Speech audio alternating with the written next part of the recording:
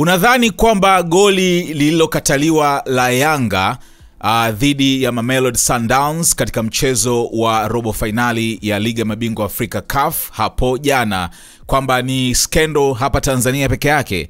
Hapana, hata South Africa hii ni bonge ya story. Hii hapa ni goal.com, moja kati ya tovuti maarufu sana za michezo. Wameandika Yanga Sports Club were robbed of a spectacular goal against Mamelodi Sundowns. Masandawana looked like amateurs with no creativity. Mashabiki hao wamesema kwamba Yanga wameporwa goli lao zuri kabisa dhidi ya Mamelodi Sundowns. Masandawana walionekana wanagenzi wasiokuwa na ubunifu wowote. Mashabiki wamesema hivyo. Hapa ni wameandika hivi, ni stori ya leo tarehe sita mwezi wa nne. Mashabiki wa Afrika wanasema kwamba wananchi ambao ni Yanga walistahili kuondoa Masandawana kutoka katika mashindano hayo ya CAF.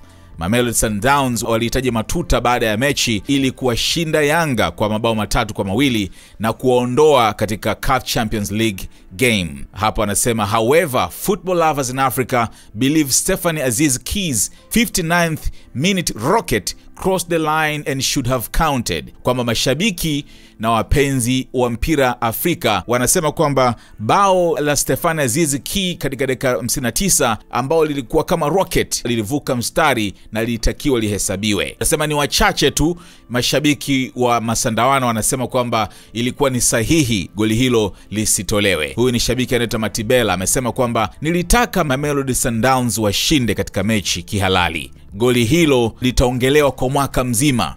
It is going to give birth to something against referees, litaenda kuzaa kitu ambacho kitakuwa ni dhidi ya marefari.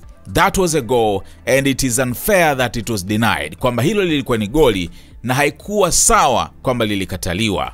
Kule Twitter ama sasa hivi X kuna jamaa anaitwa Chris exel Huyu jamaa ni savage, ni king kushambulia watu mtandaoni, ana followers zaidi ya milioni 2.3. Yeye ameweka hii hapa summary of Sundowns got into semifinals. Kuna hii hapa goli, picha ya goli ambayo lilikataliwa, refari refa anaangalia uh, ile VAR alafu huyu sasa wakati anaangalia hivi, lakini kwenye hiyo video screen ya VAR anamwona huyu ni Mosepe ambaye ni rais wa CAF ambaye ni Msouth Africa.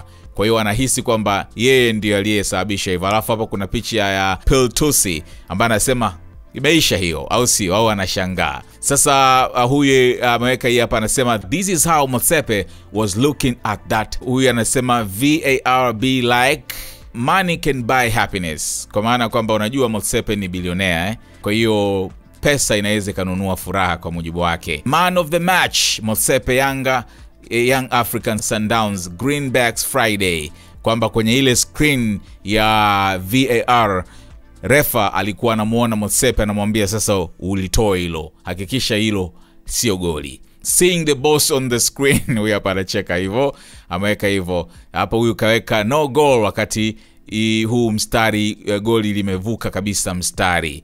Very simple.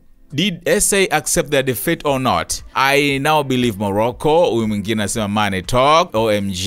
Huyu mwingine anasema I mean Motsepe is the CAF president after all. Kwa hiyo story ndo hivyo. South Africa wengi nao pia wanasema kwamba Yanga ameporwa goli lake. Ndio maana mwana FA ametwiti hivi, amesema nimetoka kuongea na viongozi wa Young Africans na tumekubaliana wanaiandikia kaf kulalamika kuhusiana na goli la wazi lililokataliwa. Haitabatilisha matokeo, lakini angalau tuweke kumbukumbu sawa, na ikithibitika hata mwamuzi achukuliwe hatua stahiki. Lile lilikuwa goli halali. Basi ndo hivyo, tupia komenti yako na subscribe ili kupata taarifa nyingi zaidi.